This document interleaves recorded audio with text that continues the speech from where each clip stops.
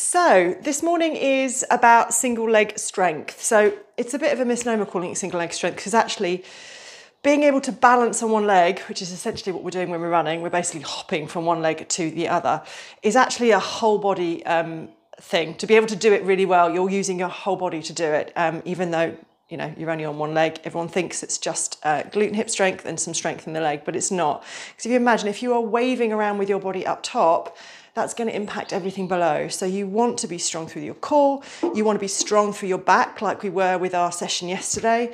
You want that strength in your feet and ankles, because if they're waving around, that's again going to affect your balance. So just like when we're running, balancing on one leg is a whole body thing. And we kind of, this session is kind of a combination of everything we've done this week from the glute and hip strength, feet and ankles, and the back strength and core strength. So, um, when we're running, if we can be as still and stable as possible on, on one leg, because that's essentially what we're doing, we can use more of our energy to propel us forward. So it is worth spending some time doing this work and getting strong in single leg balance. So let's get going. We're going to stand with the feet hip distance to start. Nice big breaths in through the nose as we stretch tall, reach to the ceiling. And then as you open up, I just want you to squeeze your bottom, open the arms wide, and really get the chest and back to open and stretch and then down. Big breath in. Stretch up. And let's say we want to be able to stay tall through the spine and open in the chest. So we just got to make sure that to begin with, we can actually get into that position. So these stretches, they're always nice ones to do pre-run as well, especially if you've been driving or desk working. You know, everyone takes the time to stretch out the hips, or some people do, but take the time to open out your upper body as well.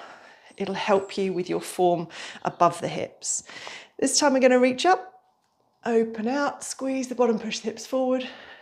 The next time, staying tall through the spine, we're just going to bring the hands, interlace them behind the head, press the head gently back into the hands, push the elbows wide, and then we're going to take the shoulders up to the ears, and then we're going to draw the shoulders down.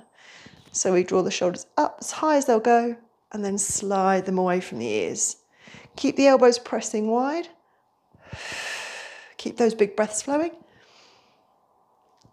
Good. Next one, draw them up, draw them down and hold them down. I'm just going to do a bit of side to side, so getting the side of the body stretching. Try not to swing your bottom around. Try and start to feel that connection in the glutes and in the lower abs to just hold everything below the waist super still. You can go over as far as you like, but try and keep the elbows wide. And do one more to each side. Oh, apologies if you can hear me creaking, crunching. Come back to the center. Reach up, stretch and open, roll the shoulders. Let's find that um, neutral alignment. So hips, knees and ankles in alignment. We're nice and tall through the spine. Much easier to engage your core muscles when you're lifted away. When we collapse forward, you'll find it much harder to engage those core muscles. So think of that piece of string coming from the base of the spine all the way up through and out through the crown of the head. So we're lifting up nice and tall, shoulders draw open. So open across the collarbone and then just tip and tilt the tailbone. So not arching too much through the back, but not tucking under too far either. So find that midpoint, tailbone is down, and then from there, we're gonna find that core engagement. So remember you're thinking below the line of the belly button, below the line of the hips. Inhale nice and tall, at the top of that in breath, tighten those abs as tight as they'll go. So drawing everything in and then releasing slowly on the out breath. You wouldn't be able to maintain that standing, let alone running. So big breath in. This time pull in halfway, so feel that difference. And then release. And then inhale. Remember, it's just a light connection. Third of the way, Release the breath, and you should feel comfortable to breathe and move. The core control is not necessarily, uh, well, it's not about bracing and being rock solid through your center. Those muscles work in conjunction with your hips, through your back as well. They all work together, so they don't need to do all of the work on their own. So they don't need to be super tight. So nice and light that you can maintain them. And then from there, really easy, we're just gonna start with some squats. So we're just gonna come up with the arms, down and then up. So just getting the ankles, knees and hips moving, but keeping the chest tall. We're going to do four and three, Try and lift the arms up nice and tall. It helps to encourage the chest to lift and the spine to stay tall. One, on the, this one, we're going to come down and we're going to shift the weight, but we're going to try and keep the hip bones level. We're going to shift the weight onto this side, so this one's really light, and then we're going to push up through that standing leg. Come down, same on the other side, down, shift the weight, and then push up through the standing leg. Down, shift the weight, and then push up. So in your own time, you're going to try and get this leg as light as possible. So you can start to lift the heel on that side down. You can start to get it so that the toes hovering off the floor. Just work to your own level, but keep the hip bones level. So um, if you need to bring the arms down like I did, just hold your hips so you can feel where they're level, that's absolutely fine too. The, the arms will just make it a bit more challenging. so just work at your own level, let's say. You will feel you have to deepen that connection because let's say single leg balance is a whole body thing. Obviously everyone thinks squats, they think legs, but actually to get the weight off of this leg and to bring it up, more core, more back, more everything going on, more strength everywhere to do that single leg work. Shift, bring it up, rise up. We're going to do two more to each side at your own level. So as I say, you could still be resting on the toe on that trailing side. Shift, Get the foot up if you can, rise. One more to each side, down, shift the weight, and then up, down, shift the weight, and then up. Good, this time come down. We're going to shift the weight, come up, rise up. Now, if you've not um, brought your leg up, just bring it into balance now if you can. Arms come out to start. Now we're going to take this bent leg around and behind us to like a uh, curtsy squat. Couldn't think what's called then. Then we're going to drop down and then you're going to tap it in. So nice and light with this leg. Go back behind and then tap it in. You want to go as far behind you as possible so that we really get work into that glute and hip. The further forward you go, the more you're going to work quads, which is fine, but generally it's the glutes and hips that we're weaker in down. So those of you that want a bit more, see if you can bring that knee back up. So it taps behind and then it draws back up. Hip bones as level as you can keep them as you do these. Good, and then if you want to bring the arms in to really challenge the balance, that's the other option. Remember, like I said at the, the beginning of the week, these options for a reason. You'll just work at your level so if you're still here, that's fine. You'll still be building your strength. Good. For four. For three. Keep the core engaged, keep lifted in the chest. Two. Last one. Down, come all the way up. Now, if you're here, then just sweep the knee behind you so that you've still got a bent leg. If you've got the floor lightly, uh, floor, the foot lightly on the floor, that's fine. Wherever position you're in, we're going to take the leg out to the side and back. So you can be here. You could be here. Or you can have the arms in. Those are your options but try to be super stable. Remember, this is single leg balance. So although we're moving this leg out to the side and getting a bonus bit of hip work here, it's the standing leg and the pelvis I want you to think about. So if you're here, but everything is like this, bring the arms out, bring the leg down, and slide the toe along the floor and just practice holding your balance, holding that hip knee and ankle alignment on this side.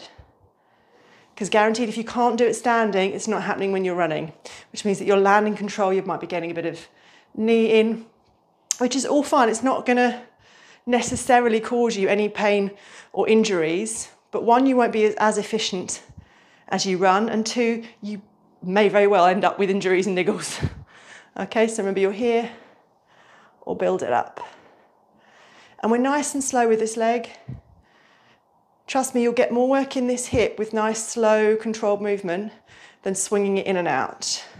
Simply because you'll spend more time away from the body with the leg, so you have to work harder into the hip.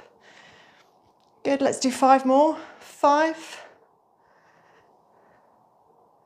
For four. Remember, open chest. If we sink here, the hip sinks and then everything's a bit wobbly. So think lift up. Two. Last ones. One. Come down, shake it off. Lovely, let's do the same on the other side. So arms come out, shift the weight onto this side, and then we step around and behind, and then step and tap. So just find your rhythm with the movement first. Remembering that we want to go big step behind and back so that we get into the glutes. Around and behind, and then back. When you're ready, see if you can make this trailing leg a little bit lighter when it comes in so that either toe resting or maybe the knee up. Round and behind. Core's working, like I say, the back's working, feet and ankles are working. So try to keep the big toe, in fact, try to keep all the toes on the floor, but the big toe is usually the one that wants to lift. Good, and then if you want to bring the arms in. Good. Remember, you're better working here than being all over the place trying to work here. Okay. Good. Let's go for four, three, two, and one. Come up. Remember, you can be here and just sweep the leg behind you, or you can be here, or you can be here. Wherever you can keep, hip, knee, ankle, and no swinging around with the hips. So hip bones level,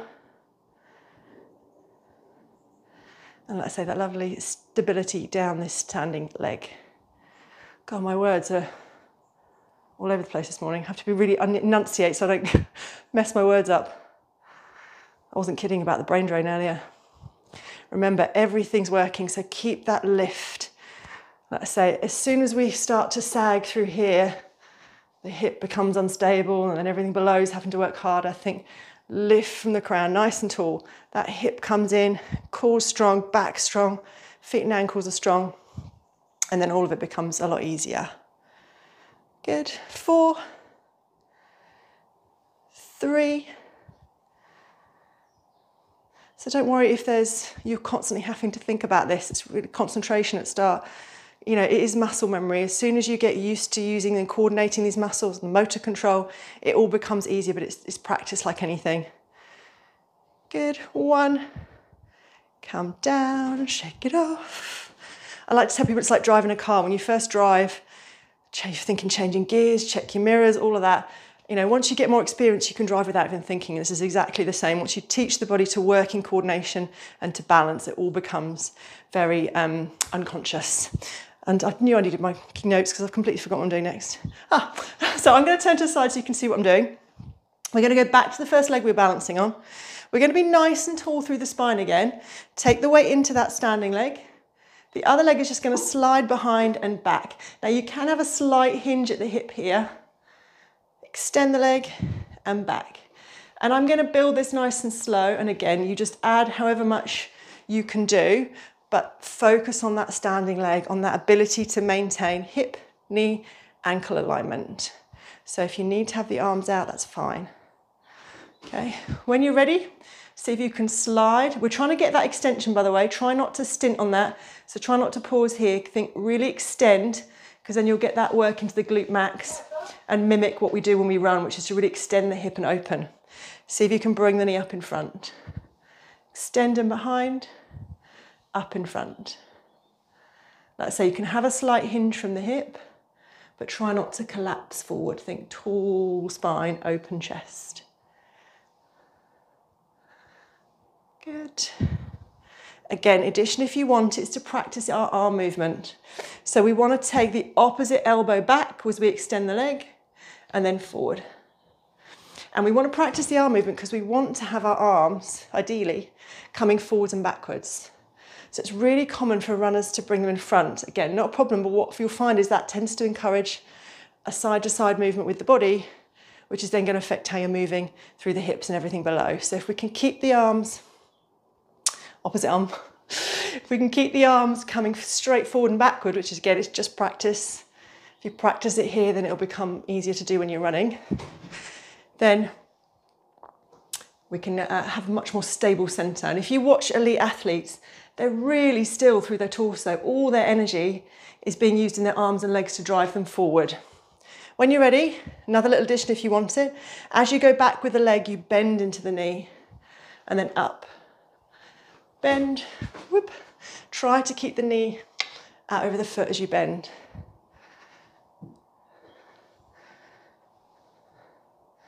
rather than letting the knee roll in. So again, we're practicing that landing control.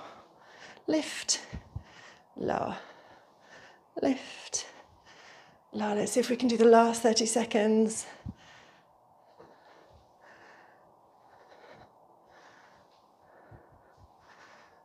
Good. Lift. Last ones. Lift. Good, shake it off. We can do the same on the other side. Now remember, you might feel different side to side. We usually have one side that's weaker than the other or a little bit less stable. So shift the weight, keep that hip knee ankle alignment.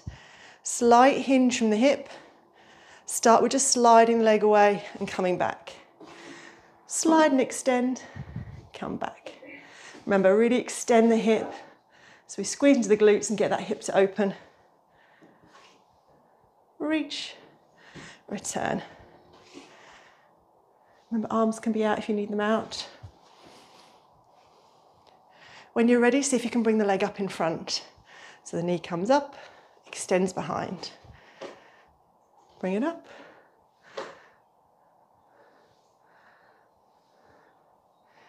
Good. Let's add in the arms if you can. So it's opposite arm. In out. And then last addition, if you want it, is that bend into the knee and lift. Let's say you want to make sure that knee is coming straight out over the foot. Try not to roll it in. Good. So everything should feel like it's working. Your back to keep you nice and upright, core, definitely glutes and hips, feet and ankles as well on that supporting side. Good. Let's go last 20 seconds. Up, down, up, Sorry, this is my bad side. Don't look at me. I'll throw your, I'll throw your balance. Good, last ones. Down and up. Good, shake it off. Lovely. We're actually going to do a bit of stretching, but we're going to do it standing so we can carry on that single leg balance. What I'd say is if you're a bit unstable, grab a bit of wall space or a chair your aim is to be as light as possible on your hold on that wall or that chair, whatever you're using, so that you use as much of your body to stabilize you as possible. But like I say, grab hold of a wall or something. And we're gonna start by just taking the ankle onto the thigh, sit your weight back into your heel, keep your chest lifted. So from the side, it looks like you're gonna sit on a chair. The more you can lift your tailbone up, the more of a stretch you'll get in that bent side, in the bent leg side, into the glutes so you can have the arms out. If you want to deepen the stretch, then just push that knee away and sit further back into your heels and your bottom. And you'll feel that stretch going to the hip. This is a quite a nice one to get good at. One, because it's good for your single leg balance, but also it's really easy to do after a run if you've not got any space to get on the floor. So if you're at a race or whatever and you don't really want to sit on the grass because it's soaking wet, it's a nice stretch for the hips before you get in the car to come home. Good, keep the chest up. Good, then come up. We're gonna take that foot and take it round behind. So with this one, Try not to pull your foot to your bottom too early, okay? What I want you to do instead is scoop the tailbone under, pull your abs in and squeeze and push your hips forward. And then bring the heel to bottom if you still need a stretch. All right, so it feels like you're really scooping under with the tailbone, basically so that you create more of the stretch. Try and keep the knee connected to the other one. And then, like I say, then you can start pulling the heel towards your bottom. But try and keep that tailbone tuck first. And tall everywhere else, obviously, try and lift up. Nice big breaths as you stretch.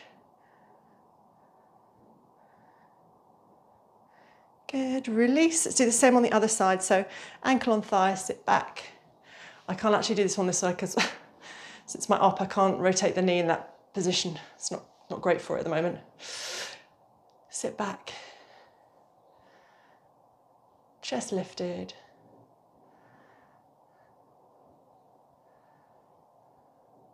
Remember, if you want to deepen the stretch, push the knee away. Good, nice big breaths.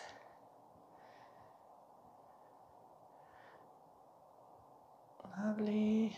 And then come up, same thing, take the foot around behind, scoop the tailbone under and push the hips forward. And then pull your heel to bottom if you need to deepen it again. Nice and tall. So nice big breath so that you aren't gripping or holding the stretch. Lovely. Release. Shake it off. Last stretch up. Open wide. Shake everything off. And we are done for today. Thank you very much.